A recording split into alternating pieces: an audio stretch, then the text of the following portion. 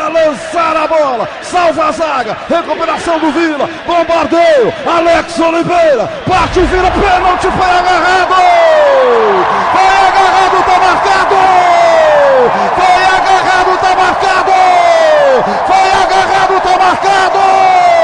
Pênalti pro Vila Nova no Serra Dourada, indiscutível! Indiscutível, Deus do céu! O futebol é uma máquina de fazer doido! Quando de repente o resultado do jogo parece ser definitivo, ele tem uma mudança radical! É pênalti pro Vila Edson Júnior! Nenhuma dúvida, foi derrubado o Juninho Edson. Agora, 45. O Vila tem chance de somar três pontos.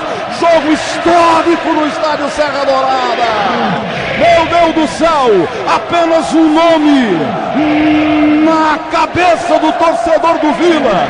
Este nome é Túlio.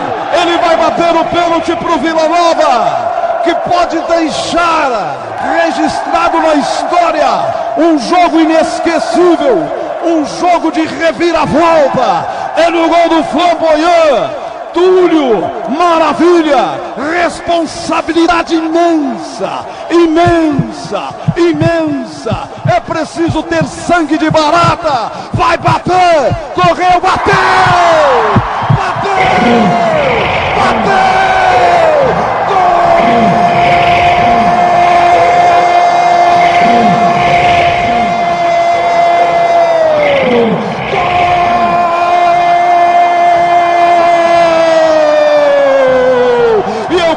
o fôlego daquele cantor Donizete que canta galopeira para gritar outra vez bem forte. Gol!